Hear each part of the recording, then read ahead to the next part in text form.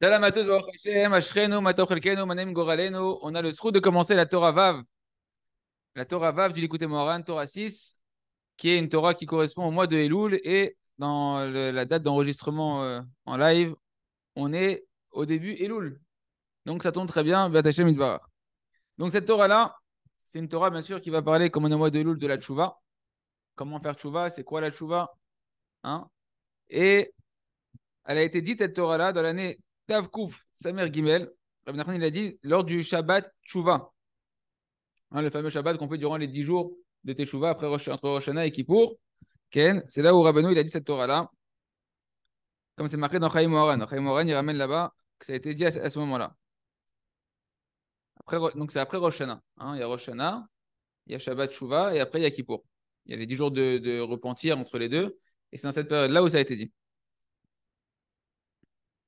Ok. Dans le bureau de il dit qu'en fait, cette paracha-là, a été, que cette paracha-là, sur, quoi ça vient en fait ce, verset-là? Il vient sur le verset où c'est marqué euh, Vayomer Moshe, Kra et Yoshua, dans le Sefer Devarim. Et en réalité, c'est la paracha euh, qui, est au moment de Vayeler. Ce verset-là est dans la paracha de Vayeler. Donc, il dit le bureau à l'écoutime que ce pasouk-là, qui vient de la paracha de Vayeler, que c'était la paracha qu'on a lu dans Parashat Shuvah, c'est-à-dire que le moment de Shabbat Shuvah, c'était Parashat Vayeler. Et sur ce verset, dans, dans il y a le verset sur lequel on va voir le verset qui va introduire cette Torah-là. Et c'est sur ce verset-là, de la Parashat Vayeler de Shabbat Shuvah, que Rabbeinu, il a fait cette Torah-là, qu'il a dévoilé cet enseignement-là. Et quand il a fait Rabbeinu cette Torah-là, il n'a pas, pas dévoilé à tout de suite qu'il y avait les intentions de Elul, c'est-à-dire les, ce qu'on peut gagner dans le mois de Elul pour nous, individuellement parlant. Ça, il ne l'a pas dit tout de suite Rabbeinu Kadosh. Ken. Au moment où il a dit à Shabbat, il ne l'a pas dit. Mais à Moté Shabbat Kodesh, quand c'est arrivé Moté Shabbat, donc à la fin du Shabbat, au moment où il a dit la Torah, il n'a rien dit. Et quand c'est arrivé Moté Shabbat, il leur a montré à ses élèves, d'après les, les kavanot du Harizal, donc de la Kabbalah, comment en réalité toute cette Torah elle est euh, d'une manière que nous, on ne se rend pas compte, eh ben, il a réhabillé, il a redescendu d'un niveau pratique pour nous. Les, intentions kabbalistiques que le Harizal a dévoilées pour le mois de Elul, elles sont en fait dans cette Torah-là de l'Ikouté Moharan. Ok? On y va, on démarre. Donc cette Torah, elle commence par le verset.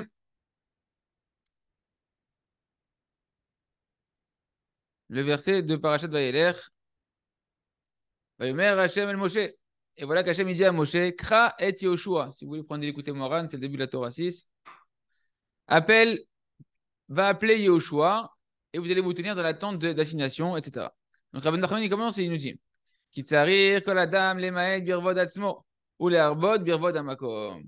Première chose qu'il nous dit Rabbi Nachman, un homme, il doit constamment chercher à diminuer son propre honneur et chercher à faire grandir l'honneur du Makom. C'est quoi Makom? Makom, c'est l'endroit, c'est un des noms d'Akadosh Baruch Donc je dois, en tant qu'homme, dans ma vie, c'est un but de ma vie, ça fait partie du, but de ma vie, de chercher à diminuer constamment mes propres honneurs et chercher à faire grandir l'honneur d'Akadosh Baruch Pourquoi on appelle Makom Akadosh Baruch C'est marrant, c'est la première fois que je me pose la question dans cette Torah-là quand je la fais avec vous maintenant. Pourquoi Rabbi Nachman il a dit Birvod Amakom Pourquoi il n'a pas dit Birvod Hashem? Pourquoi il n'a pas dit faire grandir l'endroit d'Hachem euh, Faire grandir l'honneur d'Hachem Ouais, pourquoi c'est marqué faire grandir le, le kavod, la gloire du Makom, de l'endroit? Parce qu'en réalité, ce nom d'Akadosh Baruch qu'on appelle Makom, c'est pour dire qu'Hachem, il, il est l'endroit du monde. C'est pas Hachem, il y a le monde, c'est un endroit dans lequel Hachem se trouve. Il y a l'univers, dedans, il y a Hachem. Non.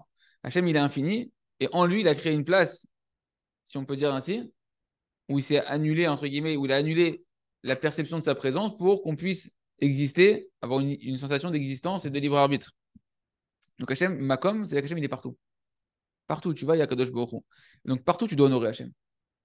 Dans chaque rencontre, dans chaque instant de ta vie, tu vas avoir en réalité, tu vas être confronté à l'honneur d'Hachem. Il faut être conscient que tout, c'est l'honneur d'Hachem. Que quand ta femme va te parler, quand tes enfants vont te parler, quand tes amis vont te parler, quand tu vas traverser des montées, des descentes, tout c'est Hachem. Est-ce que tu es là pour ton honneur ou tu es là pour l'honneur d'Hachem? Et là, ça va, tout va changer. Si tu es en train de bosser pour l'honneur d'Hachem, toujours tu seras à te te, te faire petit, et donc laisser place à Hachem et faire entrer la lumière et bien réagir. Et dans une phase de teshuva, de revenir vers Hachem. Mais si tu n'es pas conscient que partout, dans chaque endroit, dans chaque makom, c'est Hachem, alors tu feras passer ton kavod, ton honneur avant. Tu vois pas qu'il y a Hachem. Tu n'es pas conscient qu'Hachem est ici. Quel rapport Hachem ici? Hachem est dans la synagogue, Hachem est dans les livres de, Torah, au Beth. Bon, c'est une petite parenthèse qui, m'a scintillé, donc je voulais, je voulais transmettre à ce moment-là. Ok, donc le Rabbi nous dit, Rabbi nous enseigne que pour honorer Hachem, pour arriver à honorer Hachem et augmenter l'honneur d'Hachem comme il faut, on est d'abord, il y a une condition qui est sine qua non, qui est obligatoire. Tu dois d'abord commencer par diminuer ton kavod. Parce que c'est pas les Rabbi il n'a pas dit d'abord commence à honorer l'honneur d'Hachem et diminue ton kavod. Il a dit d'abord diminue ton kavod, diminue ton honneur, et ensuite augmente l'honneur d'Hachem. Parce que en fait, c'est impossible. tu ne pourras jamais commencer à honorer Hachem si tu n'es pas déjà en train de travailler, de te faire petit, de diminuer ton kavod. Tu dois avoir une envie, une recherche, c'est contre nature, de diminuer ton kavod. En réalité, le kavod dont on parle, d'Hachem, il se trouve déjà en nous. Notre neshama, c'est une part du kavod d'Hachem. Si tu, si tu diminues ton ego, tu vas commencer à faire scintiller ta neshama qui est une part d'Akadosh Borou, l'honneur d'Hachem, qui, qui, est le premier que tu vas rencontrer, c'est l'honneur d'Hachem qui entoure. De ne pas souiller, de ne pas salir ta Neshama, de ne pas salir ton âme qui est une part d'Hachem. D'accord? En tout cas, il me dit le Rav, si un homme n'est pas constamment en train d'être en travail sur ça, de diminuer son kavod, de chercher à diminuer son honneur, ouais, alors il sera toujours en train de le poursuivre, l'honneur. D'une manière ou d'une autre, il poursuivra l'honneur, il sera à la recherche des honneurs être une star, ce que tu veux, mais il veut, attirer à lui, sur lui, la lumière. Les projecteurs. Et Rabbeinu, il donne ici deux choses qu'un doit faire. Diminuer son honneur et augmenter l'honneur d'Akadosh Boko. Il dit le Rav, et dans son pied rouge, a priori, a priori, ouais, Rabbeinu, il aurait très bien pu écrire qu'en réalité, il faut juste augmenter le kavod d'Akadosh Baruch Ouais, sans, sans, parler du diminution de notre propre kavod. Alors pourquoi Rabbeinu il a commencé dans cet ordre-là? C'est ce qu'on a dit au début. Pourquoi, pourquoi il ne dit pas directement à Hachem, grandis le kavod d'Akadosh Baruch c'est la chose la plus importante sur terre, etc. Ken, et seulement après diminue ton kavod. Parce qu'il veut nous enseigner, Rabbi Nachman, que ça soit clair, que la première volonté de l'homme qu'il doit avoir, avant tout, c'est sûr qu'on on est là pour glorifier Hachem. Mais d'abord, si tu ne cherches pas à diminuer ton kavod, en malasot, si tu n'as pas compris que le travail il commence par ça, même ce que tu vas faire comme Torah, même si tu vas faire des cours de Torah, même si tu vas.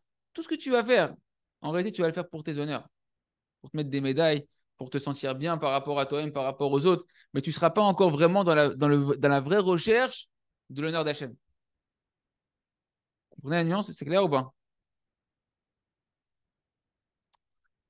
C'est comme ça qu'on commence, vu qu'on est dans le mois de Elul, c'est le début de l'année, on se prépare au début de l'année, on se prépare au début de la tchouva, on, se prépare au début de la on commence à, on, augmente la tchouva, on augmente le repentir vers Hachem, et eh ben comprendre que tu veux rentrer dans le service d'Hachem, sache que le chemin, c'est diminuer ton kavod. Donc, on comprend pourquoi on de parler des hontes après, etc. Parce que c'est le moyen le plus radical pour diminuer le kavod d'une personne, s'il ne le fait pas lui-même, parce que c'est tellement contre nature. C'est tellement difficile de chercher à diminuer son kavod qu'on va t'aider. On va t'envoyer des, des exercices.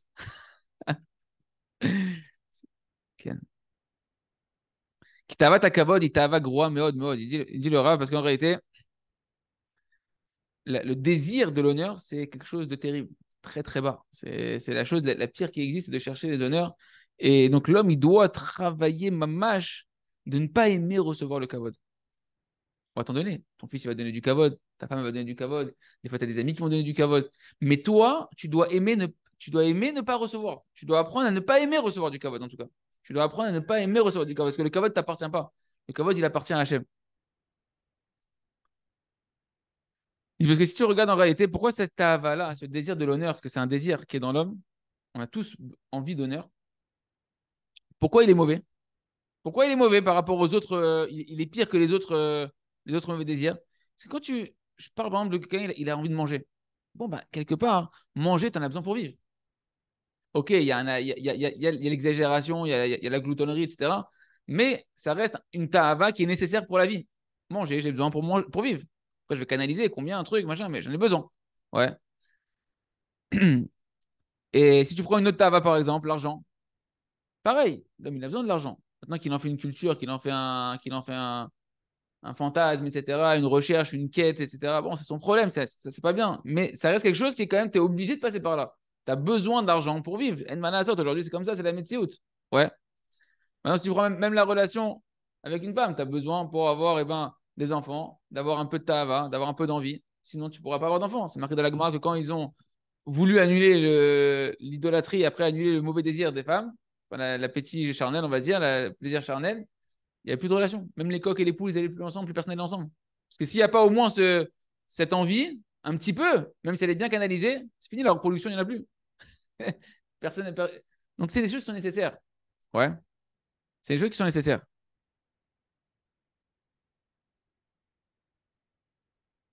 là.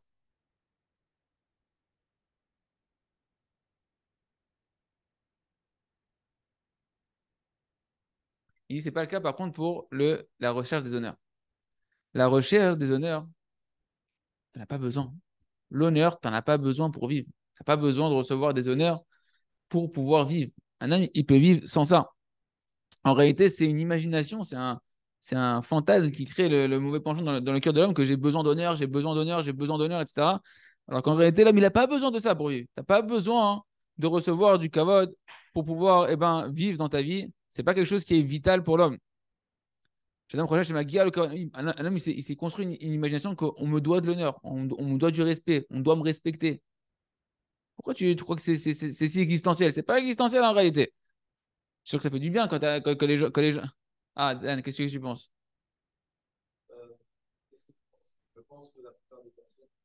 Viens, viens, prends s'il te plaît juste le micro.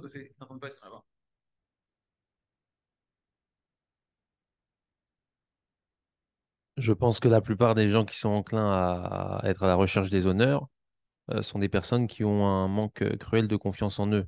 Donc je pense que c'est plus profond que forcément des personnes qui vont avoir la gava de ça. C'est pas forcément la gava de ça finalement. Ça peut être euh, caché à travers ça, hein. mais de façon globale, c'est des gens qui ont un manque cruel de confiance en eux. Donc voilà. Il a fait. En réalité, d'où elle provient la confiance en soi? Pour rebondir, quand tu es conscient que toi, tu es une part d'Hachem, et qu'en fait, la part d'honneur qui te revient, c'est la part qui revient à Hachem qui est en toi. Pourquoi tu dois honorer tes parents? Pourquoi, pourquoi tu as un devoir d'honorer tes parents, d'honorer ton rave C'est un devoir, c'est pas c'est bien, tu veux, tu veux pas, c'est une mitzvah, c'est une obligation. Parce que pour toi, ils sont un dévoilement d'Hachem. Ils sont une représentation d'Hachem, ils ont une part d'Hachem en eux, et par rapport à ce que tu as reçu d'eux, eh ben, pour, pouvoir eh ben, commencer à honorer Hachem, honore ses envoyés. Parce qu'il est passé par eux, Hachem. Le, canal par lequel Hachem il est passé pour donner la vie, pour t'éduquer, pour t'enseigner la Torah, pour donner accès, c'est par eux. Donc tu ne me dis pas j'honore Hachem et je m'en fous. C'est un mytho. C'est par qui Hachem est passé devant tes yeux? Tu ne l'honores pas, tu vas honorer Hachem que tu vois pas. C'est de la flûte. D'accord? Et maintenant, une personne, pourquoi elle veut des honneurs? Attends, je suis intelligent, frère. Attends, je, je, je suis balèze. Attends, j'ai fait des études, je suis docteur, je suis truc, je suis machin. Euh, peu importe ce que tu veux, la force, la beauté, l'intelligence, ce que tu veux, la Torah. Donc, ça me revient des honneurs, j'ai fourni des efforts. Mais qui c'est qui t'a donné tes aptitudes? Qui t'a donné la victoire? Qui t'a donné l'intelligence? Qui t'a donné la beauté? Qui t'a donné la, la, force? Qui t'a donné, la richesse? C'est Hachem qui est en toi, qui est passé à travers toi par ta neshama. D'accord? Donc, une personne est dans une imagination que le kavod lui revient. Le kavod te revient pas du tout, mon frère. Il revient à Hachem. Même si on doit t'honorer, c'est pas pour toi, c'est pour Hachem qui est en toi. Et toi, tu vas savoir dire on m'envoie du kavod, c'est vrai qu'il s'est passé quelque chose qu'il a reçu à travers moi, mais j'étais que un, canal.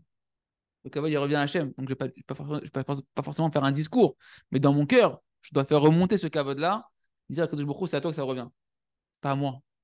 L'honneur, il revient à toi. C'est ça la finesse, comme quoi le kavod n'est pas vital. D'accord? Tu n'as pas besoin de kavod pour vivre. Et, en plus, ça ne te revient pas. Ne crois pas que le kavod, il te revient. Il ne te revient pas, le kavod. Non, ça me revient, ton truc, je l'ai nourri, je lui ai de la zdaka. Tu as donné la frère. Tu fait une tova tu as donné la Zdaka. Il t'a sauvé la vie, tu as donné la Zdaka. Et Hachem, il t'a donné de l'argent qui, était, qui lui revenait à lui. Cet argent en plus là, que tu as donné, c'était pour lui. Kitsour. Fin la parenthèse. Donc l'homme, il pense que ça lui revient. Et là, en réalité, il peut vivre sans kavod du tout. Donc c'est pire que les autres, toutes les autres tavots qu'on a, qu'on a, qu'on a citées. C'est plus difficile parce que tu en as besoin quelque part. L'argent, la nourriture, tu en as besoin. Donc de réussir à, nettoyer euh, la, finesse ou est-ce qu'à la limite, c'est plus dur. Mais là, c'est du début à la fin de l'imaginaire. Et le Rav dit tout appartient à Hachem. Et l'homme, il s'honore, il s'honore de quelque chose qui ne lui appartient pas. Et en réalité, sa joie et le profit qu'il tire des honneurs, c'est pas une véritable joie qui le remplit. Toi, tu vois que toutes les stars, tous les gens, qui, même les présidents, les ce que tu veux, ils sont pas heureux, ces gens-là. Sur le moment, ils sont. Ah, bah, ils partent après bonhomme ils sont, ils sont vides comme, euh, ouais, il sous les projecteurs, il fait les photos, tu dis, waouh, la purée, quelle chance, quel bonheur qu'il a celui-là, tout le monde le vénère. Il lui supporte pas, lui. Tout le monde le vénère et lui sait que c'est un... Parce que parce qu'au final, pourquoi? Parce qu'au final, au fond, nous, notre âme et la, la parcelle de divinité qui est en tout être humain, etc., c'est très bien que ça ne lui revient pas. C'est très bien que ça, c'est du. Et donc, ça ne peut, pas, ça peut pas te remplir. Ça ne peut pas te remplir. Mais ce que le Rav me dit, parce que la, la, simcha de vérité, le Rav me dit qu'une simcha authentique, c'est ce qu'on a toujours vu ensemble dans, le, dans, dans les, dans de Emouna, dans l'enseignement de Rabbi Nachman. La seule joie qui existe véritablement, c'est l'homme qui est heureux de sa part. Un homme, c'est quoi être heureux de sa part? C'est un homme qui sait que tout ce qui se passe, c'est Hachem. Et que Béhémet, tout ce que les communautés de ma vie, c'est organisé par Hachem, tout c'est un cadeau gratuit à Kadosh Baruch les bonnes choses, comme ce qui me paraît des difficultés, tout c'est Hachem, et je me réjouis, comme c'est comme, comme marqué, Anochi Esmar Hachem. Je me réjouis dans Hachem, dans le Hachem qui, vitalise tout, qui est le Makom, comme on a dit au début de, cette Torah-là, qui est l'endroit du monde que tout c'est Hachem. Tout ça, Kadosh Baruch Et je, je, remercie Hachem du chesed, de la bonté qui fait couler sur moi et que j'existe, que, tout ce qui se passe autour de moi, ça existe, etc. Ce qui passe par moi, ce qui passe par mon entourage. Merci Hachem. D'où j'existe, d'où j'ai le droit à l'existence déjà, Birklal. Si une personne elle vit comme ça, déjà tout, tout c'est un bonus. Tout c'est un cadeau. Ken. Mais sa mère, donc la personne va être heureuse de ce qu'Hachem lui donne sans prendre les kavod pour lui, parce qu'il sait que ça vient d'Akadosh Borou. C'est pourquoi il dit le Rav, d'après la vérité, un homme, il doit diminuer son honneur parce que le kavod ne lui appartient pas. Et tout son travail et ses efforts, Ken, dès le début, ça doit être de ne pas vouloir recevoir du kavod. C'est-à-dire, toi, tu dois te dire, ok, j'ai compris, le kavod, il est Hachem. Mais d'avant tout, j'ai un yetzera, j'ai un mauvais penchant énorme de vouloir le kavod. Donc, si je ne suis pas toujours en train de me rappeler que le cavol, je ne dois pas le vouloir et qu'il ne m'appartient pas, je vais constamment retomber euh, dans un intérêt de tout ce que je vais faire pour recevoir Ah, t'es charmé, t'es, bien, t'es un mec bien, t'es un truc, etc. Moi, moi, moi, moi, dans l'ego et dans l'honneur. Parce que si tu fais ce travail-là, tu vas, ça, va, devenir après facile d'honorer Hachem et d'augmenter le kavod d'Akadosh Boko. Parce que tu, tu, t'es déjà mis en retrait, donc tu peux commencer maintenant à honorer Akadosh Boko. Comme on voit chez Moshe Rabbeinu, que même qui savait qu'en réalité que tous les louanges qui sont marquées dans la Torah, qu'on dit sur lui, sur Moshe Rabbeinu, c'est l'homme le plus humble de tous les, les, êtres humains jusqu'à la fin des temps, etc. Des choses, des choses qui sont énormes. On voit qu'il parle avec Hachem, que c'est lui qui parle avec Hachem, etc. Mais lui, il les a écrits dans la Torah, c'est lui qui les écrit. C'est dur quand même. C'est dur. Tu, peux prendre un peu quand même la banane, la, pastèque, je sais pas comment on dit le melon. Le melon, hein. Les chevilles, elles peuvent gonfler un petit peu quand même, c'est normal. Hachem lui-même le dit, tu vois. Qu'est-ce que tu veux Mais Moshe Rabbeinu, bien qu'il savait que toutes les louanges qui étaient sur lui, il savait que quoi? Il savait que c'était vrai, il savait que ça ne lui appartenait pas. Il savait que ça, appartenait à Kadosh Borou, à seulement à Kadosh Borou. Chez chez chez Hachem, chez la il disait, Moshe, en fait, il a dû faire un travail. C'est quoi le travail qu'il faut faire? Eh bien, c'est qu'il s'est dit, en réalité, tout ce qu'on dit sur moi, regarde la grandeur d'Hachem. Comment Hachem, il a pris un homme aussi petit que moi? Et il m'a élevé petit à petit à devenir Moshe Rabbeinu. Je suis une catastrophe ambulante à la base.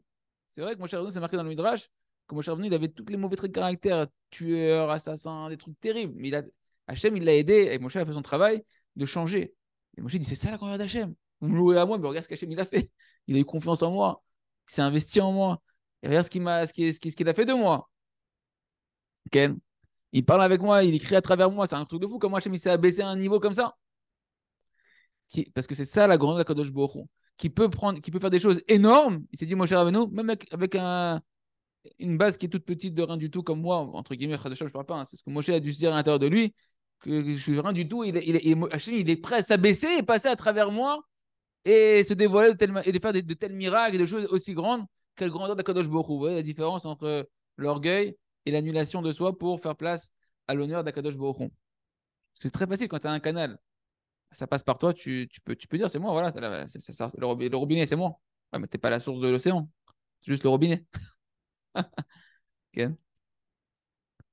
כי הוא גדול מאוד שיכול לעשות את הדברים הגדולים ביותר על ידי האדם הקטן ביותר. Qu'Hachem c'est sa grandeur, qui fait des choses énormes à travers le plus petit des hommes. C'est comme ça qu'il a penché Moshe Rabbeinu. Zeretzono Barar, Shem Adam, Ikrou Moussar. Et donc, c'est ça la montée de Borou, que nous, on prenne une leçon de morale, qu'on médite et qu'on se dise si un homme aussi petit, le plus petit qui existe, il est arrivé à des niveaux aussi grands, Ken, comme ça, il s'est dit Moshe Rabbeinu, comme ça, Moshe Rabbeinu, il, voyait, il se voyait lui-même, il disait que c'est ça le message que le, monde il doit prendre. Que si Hachem, il a pu prendre un homme aussi petit que moi et faire des choses aussi grandes, à travers, et, faire monter, et me faire monter à des niveaux aussi hauts, Ouais. Alors, à plus forte raison que chacun il peut y arriver. Chacun il peut y arriver. Voilà notre maître. Bon, on est allé chez Voilà, Rabbi Nachman mais dans une génération, on a notre maître, le Rav Shalom Arouche. Ah, tu vois un homme qui est. Il sait pas qui est pour. Manger du Hametz à Pessar. Tu vois que d'un coup, petit à petit, 40, 50 ans après, c'est pas possible. D'arriver à un tel niveau, c'est pas possible. Comment c'est possible? C'est ça la grandeur d'Hachem. C'est ça la grandeur d'Akadosh Baruch il faut laisser place à Hachem, il faut s'annuler. Le. On verra ça demain. Maintenant, Rabbi Nachman va nous expliquer qu'est-ce qui se passe pour celui qui recherche les honneurs et qui croit qu'il est dans le bonheur, qui croit qu'il est dans la lumière, qui croit qu'il est dans le plaisir des honneurs, etc. Ça sera la suite de Hachem demain. חזק ויתחזק.